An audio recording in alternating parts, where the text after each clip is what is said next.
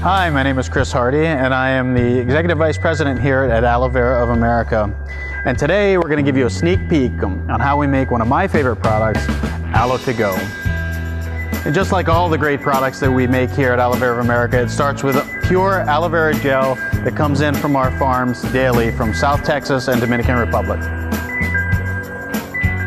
After the release of the raw materials from our laboratory, the batch's individual ingredients are weighed to meet the formula requirements. Each raw ingredient is weighed using two employees to ensure and verify each quantity is accurate. A compounding supervisor is required to verify the weighed materials. The purest and freshest aloe vera gel, straight from our very own farms, is transferred to the mixing vessel where it is blended with high quality fruit juices.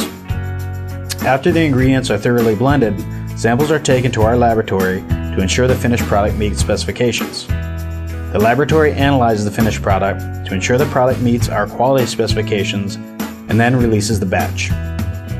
Once the batch is released, the packaging team immediately goes to work to package the product, locking in the quality as quickly as possible, ensuring once again that our customers have the freshest, highest quality aloe vera product in the world.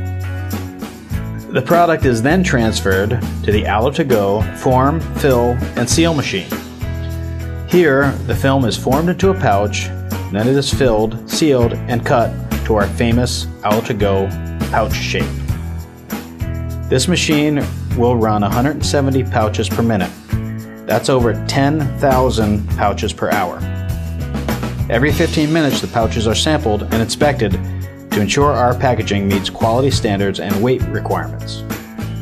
The pouches are then rinsed and dried automatically prior to being packed into cartons and shippers.